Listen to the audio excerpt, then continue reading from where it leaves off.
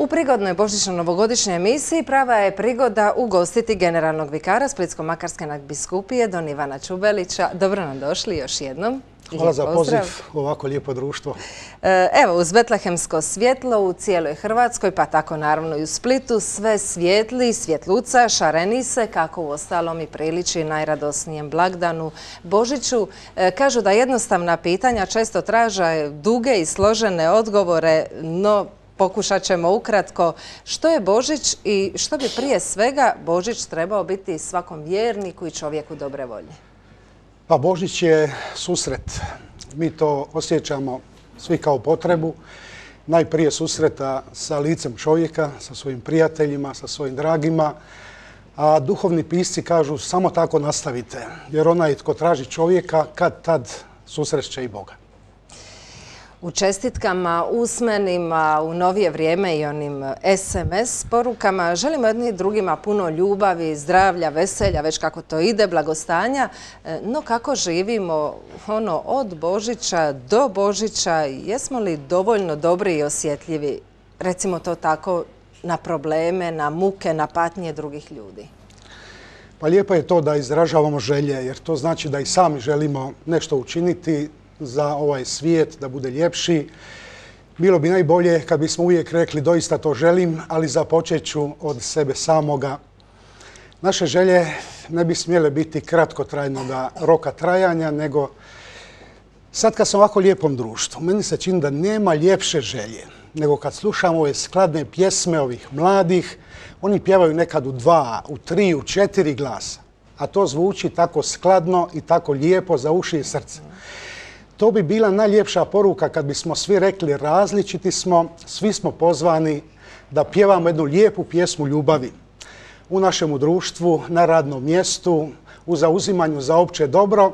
Baš bi to želio da ova lijepa slika ostaje našim gledateljima cijelu godinu, kako i mladi u više glasova različito pjevaju, da možemo i mi tako raznolikim svojim talentima pjevati jednu divnu pjesmu za opće dobro svih ljudi. E, evo, ne možemo da vas ne pitamo i ovom veselom prigodom e, da prokomentirate kritike na izjave Pape Frane da je u svojim pozivima na pomoć najsiromašnijima možda malo i preizravan kad poziva na jednakost svih ljudi e, misleći na, na sadašnju svjetsku ekonomsku politiku koja se klanja novcu, bogate čini još bogatijima, siromašne siromašnijima. Kako vi gledate? Pa drago mi je da je na račun novog pape manje kritika, a puno više pohvala.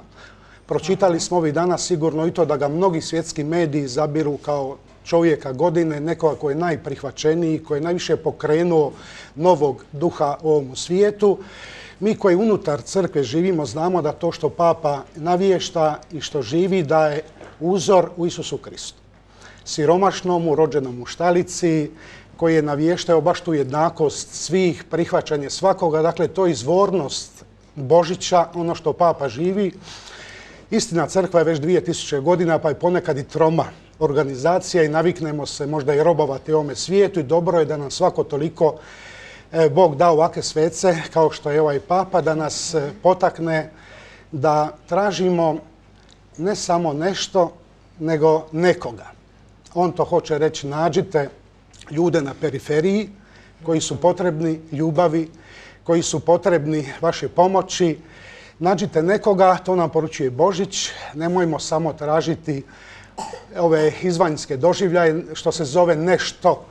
Kad susretnemo nekoga u prijatelju u Bogu, tada ćemo biti sretni. Ako ima prostora, samo jedna minuta, jedna mala pričica. Mhm. Bio sam u jednoj obitelji i pili smo kavu. I onda je dotrčao jedan mali dječak, plaće. Pita ga mama, šta je, zašto plaćeš? Igrali smo se skrivača, kaže on. I ja sam se tako dobro sakrio, ali nitko me nije tražio.